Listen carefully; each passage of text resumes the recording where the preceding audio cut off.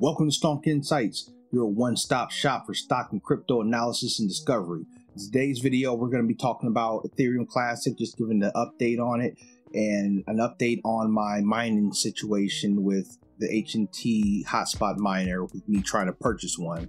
Let's just say that it didn't go as smooth as I wanted to, but it wasn't of any fault of mine. It was because of, you know, the actual company. So we're going to get into that uh, before I go any further, though, I just want to stress, you know, I'm not a financial advisor. Nothing heard in this video should be considered financial advice.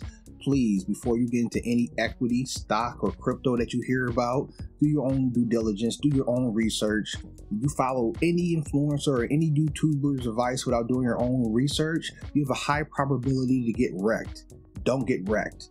So we're going to jump into this article. I just wanted to quickly go over some things with Ethereum Classic. I'm not going to be showing the portfolio because it hasn't changed. I'm still up. You know, Ethereum Classic is still right in between that channel between $45 or 46 and like high 49s. We really haven't been able to break the 40 or I'm sorry, the $52 price wall.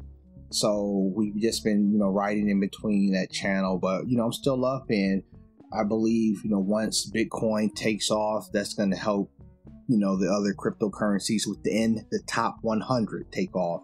And being Ethereum Classic is more higher on a top 100 chart, I think it's going to have a more parabolic effect. Okay.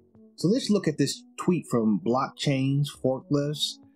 It states Ethereum being worth more than Ethereum Classic would be like if Bitcoin Cash was bigger than Bitcoin.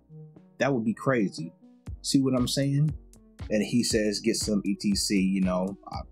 I, am not saying that, but I, I, I thought this was a great point. Okay. So let's just talk about Bitcoin Cash and Bitcoin. So Bitcoin Cash is a fork of Bitcoin. And the reason why they forked was to make for a bigger block size so that more transactions could happen within a block. And this would help with the scaling issue with Bitcoin because Bitcoin isn't really scalable. The more transactions that happen at the same time, I mean, if you had any, if you've done any, you know, DeFi work with Bitcoin, you know that it takes 30 minutes, sometimes a little bit less, but 30 minutes between 30 and 45 minutes. That's just my experience for any transaction to go through. Obviously, I, I believe the bigger the transaction size, you know, I believe some miners have the ability to pick and choose, you know, what transactions they want to, you know, do.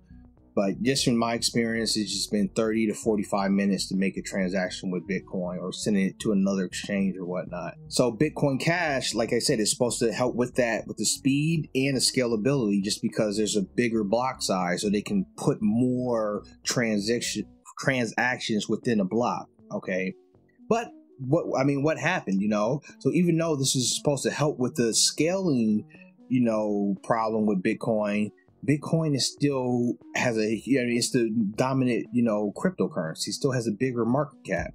And Bitcoin Cash is supposedly in an improvement of Bitcoin.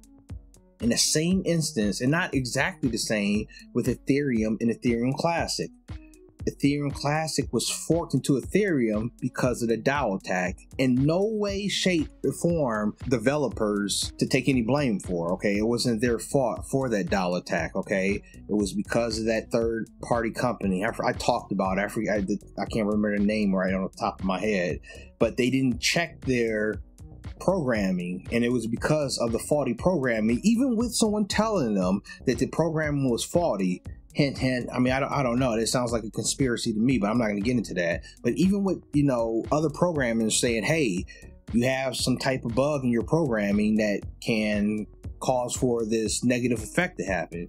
They didn't check it out and lo and behold they had that 50 million dollar DAO attack and they argument argumentatively did the fork into ethereum okay so again, this is no fault of the Ethereum creators. Okay, they didn't, you know, there was there was no problem with the Ethereum Classic. I mean, I'm sorry. So yeah, there's no problem with Ethereum Classic.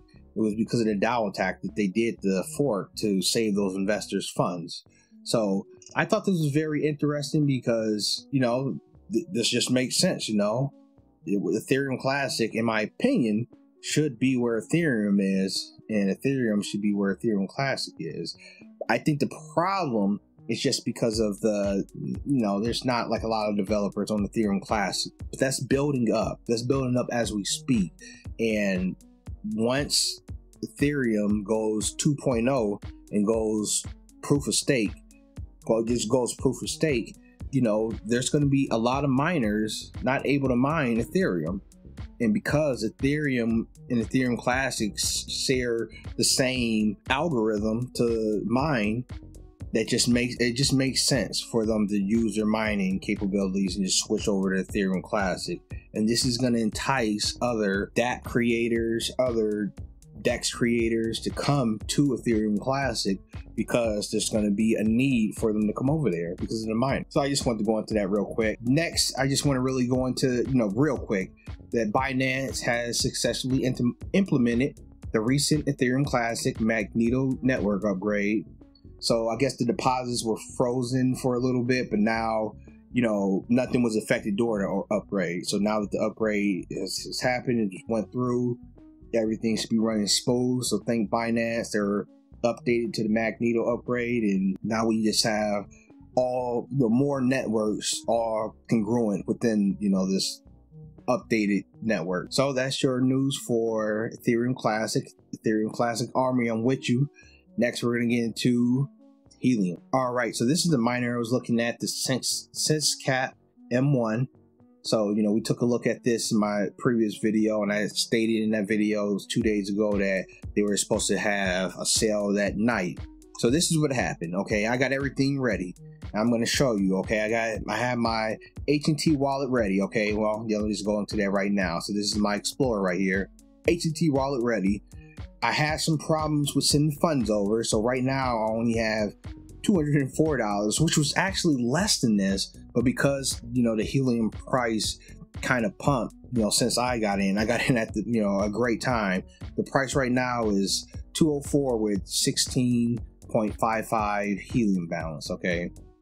So I was ready to do the whole steps that they had, okay? So, you know, this is the the coupon steps okay so I, I, had all the steps figured out or whatnot the problem was they did a sale earlier for the EU. They ran into some issues. They put out a statement like on the EU side, and within that statement, they had embedded that they were stopping or they were postponing the US sale. And I didn't look at that post because, you know, it was for the EU. I didn't think it had anything to pertain with the USA. So I was ready at 9 p.m two days ago, ready, ready, ready, you know, to, you know, I was kind of disappointed because, you know, I want, and, you know, I'm not disappointed now because I have plenty of time. We scroll down here. See, I have 10 hours. So I have, you know, some more money that I'm going to put into the Helium account so I can get the maximum. And the maximum I can get is three miners. So we're going to be going for the max today since we got time, you know. So I'm going to put that into the account. You know, they have some system to where you know, once I log in, you know, I'll be able, I'll be queued.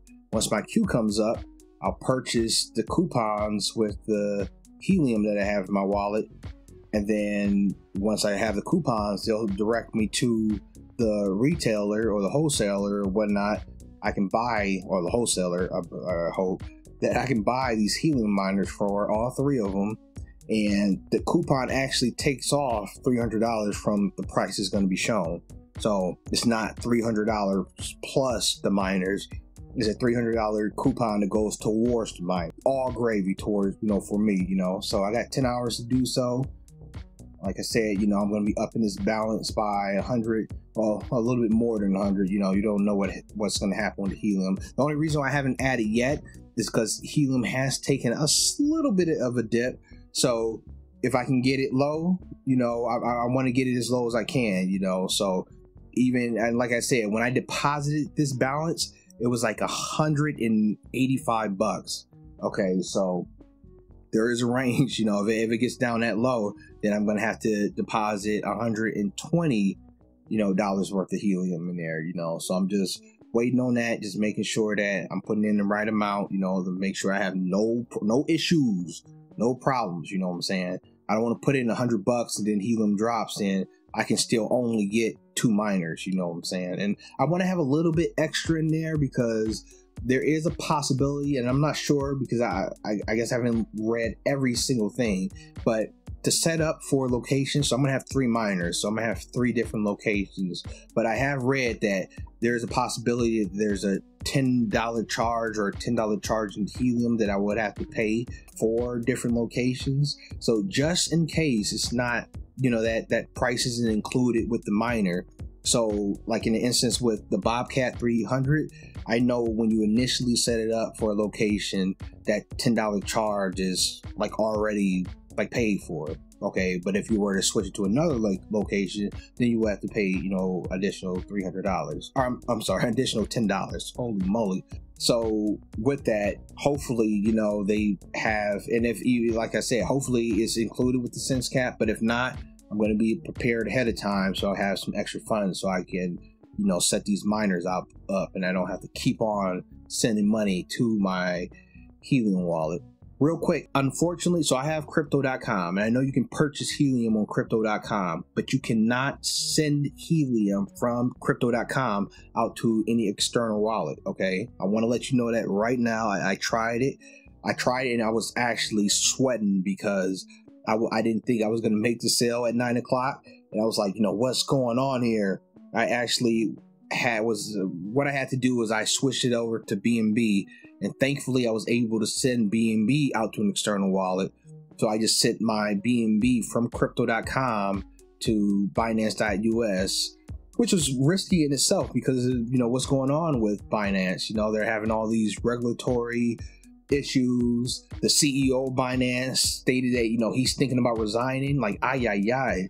So I made sure to try to get that money as quick as possible off of Binance. You know, I don't have, I got like a few bucks on there, but I don't have anything major. I'm, I will not because I don't want to lock it up. I'm just going to use Binance as an intermediary between DeFi because I know, you know, I can transfer funds from Binance to my MetaMask or to my Binance wallet and, you know, transfer it over to my MetaMask.